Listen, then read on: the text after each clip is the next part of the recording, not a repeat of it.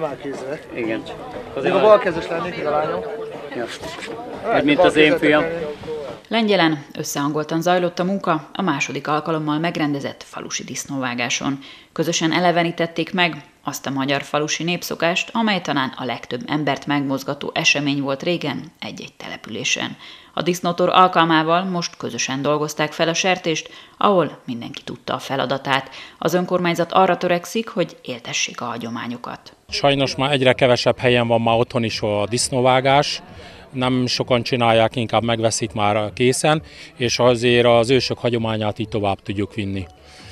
A jövőben még, ami, ami én, én még szeretnék elérni, hogy még több fiatalt bevonni, hogy legyen kinek átadni ezeket a hagyományokat, mert lassan-lassan azért kopik az a nép, az a népcsoport, az a korcsoport, aki, akik tudják még az igazi hagyományokat. Ahogy az ilyen események alkalmával illik, lengyelen is korán kezdődött a munka. A sertés hagyományos levágását követte, a hús feldolgozása, majd jöhetett a disznótoros hurka, kolbász, töltött káposzta készítése, ami az esemény záró vacsorán került feltállalásra a bát megelőzően.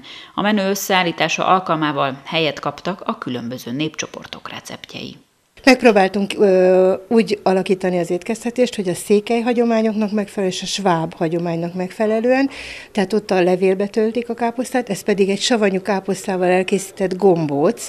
Igazából az összetevők majdnem ugyanazok, mint a másiknál, egy kicsit a fűszerezése annyival, hogy abba csombor és sok kapor van, ebbe pedig inkább a kapora jellemző.